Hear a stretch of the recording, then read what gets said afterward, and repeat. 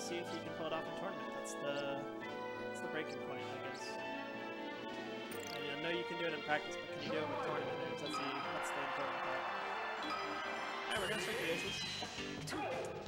Uh, you know, I feel like this favors Falco slightly, but I do not know much about stages in this matchup.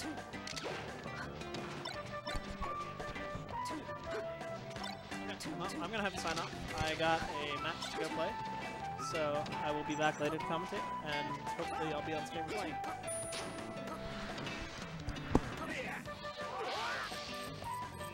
Two.